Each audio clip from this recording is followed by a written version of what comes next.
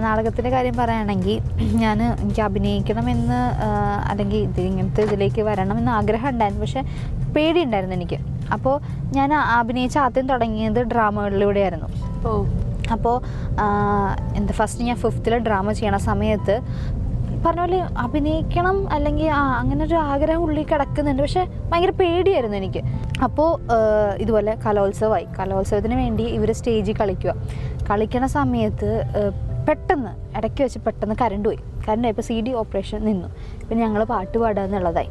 അങ്ങനെ ഞങ്ങൾ പാട്ട് പാടാൻ വേണ്ടിയിട്ട് തുടങ്ങിക്കഴിഞ്ഞപ്പോൾ അപ്പോൾ ഭയങ്കര ടെൻഷനായിരുന്നു അപ്പോൾ ഇവർ സ്റ്റേജിൽ കളിക്കുമ്പോൾ ആ അവർ കളിക്കുന്ന സാധനത്തിന്റെ അഭിനയം മുഴുവൻ വരുന്നത് ഞങ്ങളുടെ മുഖത്താണ് ഞങ്ങൾക്ക് ടെൻഷൻ കാരണം അപ്പോൾ അപ്പോൾ ഞങ്ങൾ ഈ ജഡ്ജസ് ഞങ്ങളുടെ തൊട്ട് സൈഡിലെ ജഡ്ജസ് ഇരിക്കുന്നുണ്ടായിരുന്നു. അപ്പം ജഡ്ജസ് ഞങ്ങളെ നോക്കുന്നുണ്ട്. അപ്പോൾ അനൗൺസ് ചെയ്ത് ഞങ്ങൾക്ക് ഫസ്റ്റ് കിട്ടി. അപ്പോൾ ഞങ്ങൾ എന്ന് വെച്ചാണെങ്കിൽ ഞങ്ങളുടെ മാസ്റ്റേഴ്സ് പോയി കാണും ജഡ്ജസിന് അവരെ അഭിപ്രായം അറിയാൻ വേണ്ടി പോയി കാണും.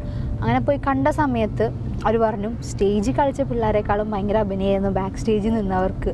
എന്ന് പറഞ്ഞു. അപ്പോഴാണ് സാറ് ഞങ്ങളെ എന്നെ എന്റെ ഫ്രണ്ടിനെ നോട്ട് ചെയ്യുന്നത്.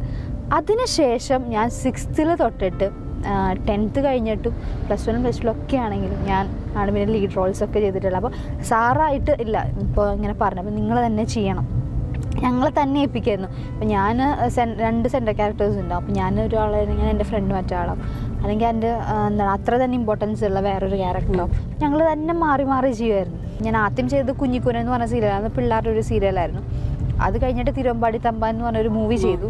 ജയറാമിന്റെ ചേട്ടന്റെ മോളായിട്ട് ചെയ്തു.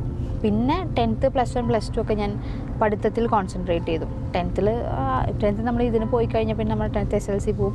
പിന്നെ പ്ലസ് വൺ പ്ലസ് ടു എന്തോ അങ്ങനെ പഠിത്തത്തിൽ കോൺസെൻട്രേറ്റ് ചെയ്തു. അല്ലാതെ ഈ ഡ്രാമയുടെ ഒരു ഭാഗം ഗൗരി ഗൗരിയായിട്ട് നിർമ്മാണത്തിൽ വന്ന അതെ. സമയത്ത് കുറച്ച് അത് ശരിക്കും അവിടെ ഉപകാരപ്പെട്ടു.